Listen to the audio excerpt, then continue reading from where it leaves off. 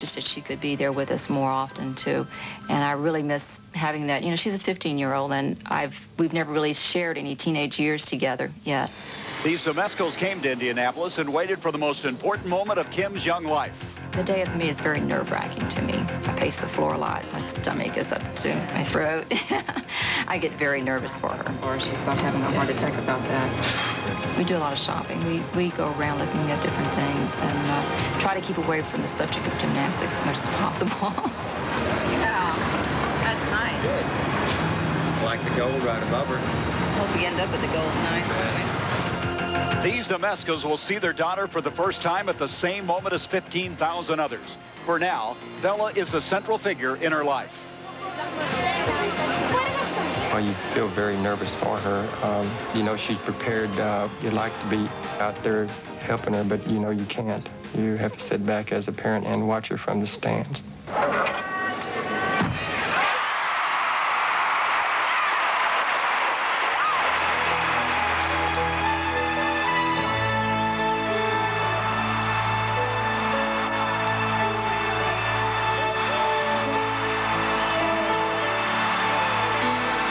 Be my little girl.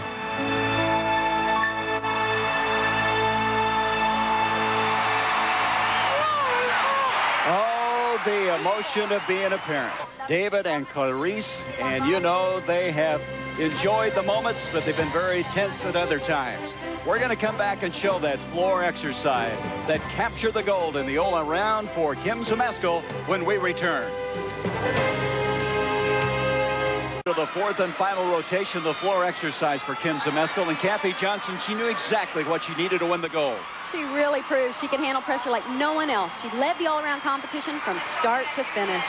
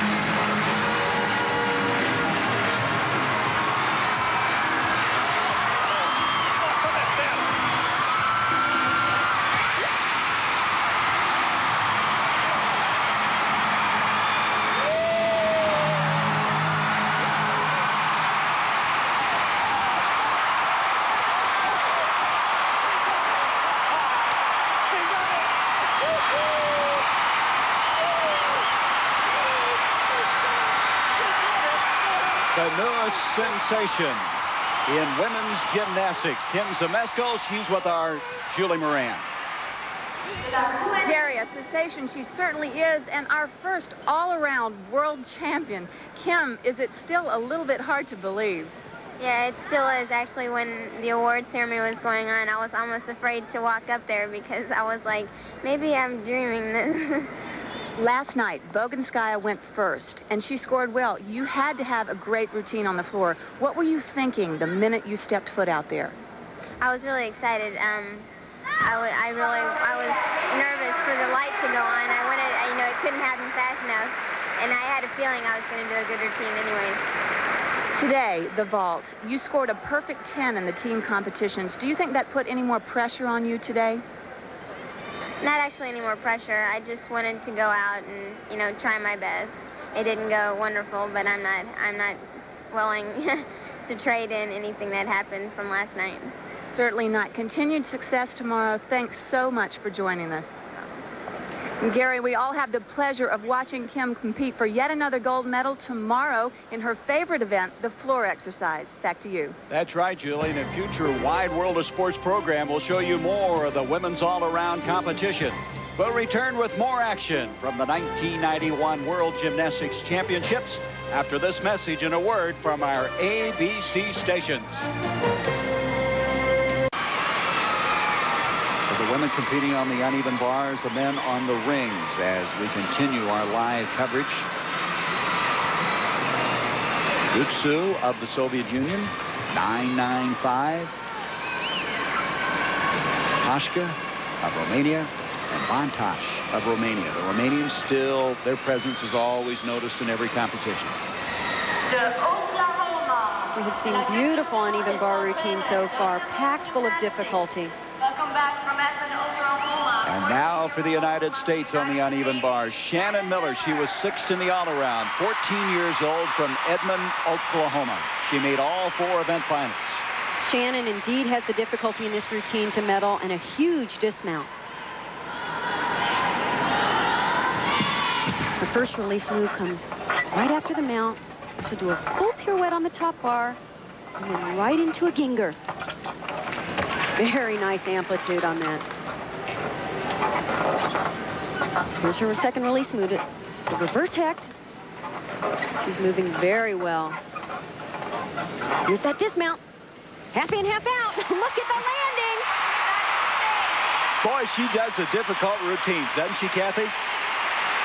She really never holds back in competition. And I even asked her about it because on every single event, she just really pushes the edge of the envelope in terms of her potential in the level of difficulty.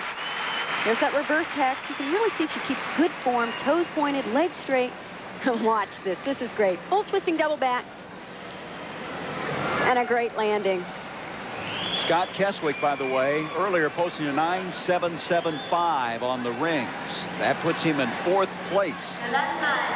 Shannon Miller. Shannon Miller, while we're away, has pulled into a tie for first in the uneven bars. Her score, a 9.95. And Vecker of Germany, a close second now. The Sutin of the Soviet Union, a 9.862 as we're coming back to the uneven bars. Kim Gwon-suk of North Korea will be performing on the uneven bars. So thus far, Gutsu and Miller tied for first. Paschke. She has certainly been one of the favorites here and a favorite on the uneven bars. She's four feet four inches tall and 60 pounds. Scored a 9.987 during the optional round of the team competition to qualify. And you won't believe this routine.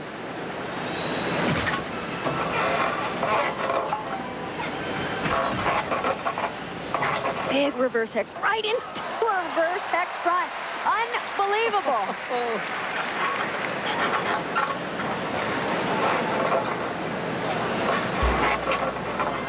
Big dismount coming up here. After her Jaeger front. Here's her final sequence.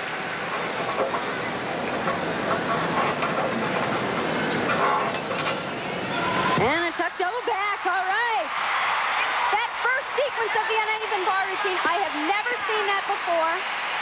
Wow. She just flies around. 4'4", 60 pounds.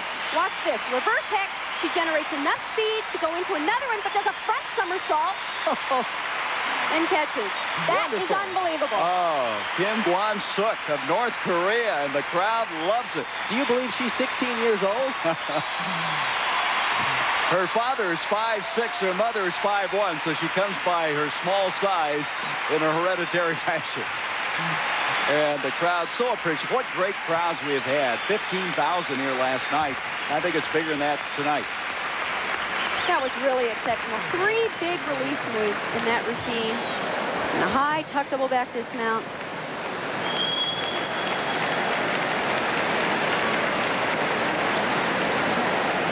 Well, it's really amazing to watch the young lady from North Korea. And I think we ought to take time right now to look at the uneven bars. Kathy Johnson's going to document how they have changed through the years. I'm sure a lot of you remember this.